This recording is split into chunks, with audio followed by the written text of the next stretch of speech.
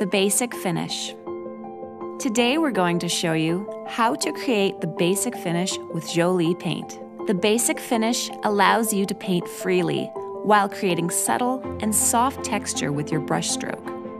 Before opening your can of Jolie paint, shake it vigorously for at least 30 seconds. Open the lid and stir the paint well, reaching all the way to the bottom of the can. Make sure your Jolie paint has a smooth consistency before starting.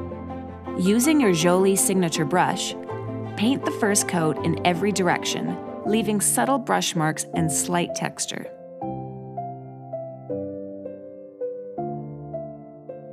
Allow the paint to dry completely.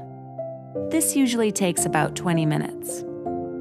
If needed, apply a second coat, painting in every direction and allowing it to dry completely.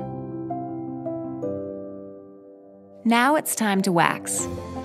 Using your wax brush, apply a small amount of clear finishing wax to your piece in small sections at a time, wiping off the excess with a clean cloth as you go. Use a gentle sweeping motion to work the wax into the paint.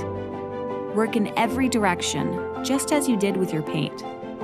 You'll notice the wax will slightly deepen the underlying paint color.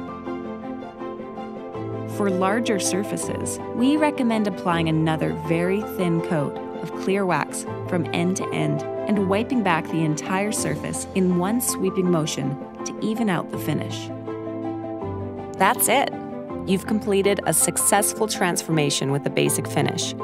Be gentle with your piece for a couple of weeks until the wax is fully cured and hardened.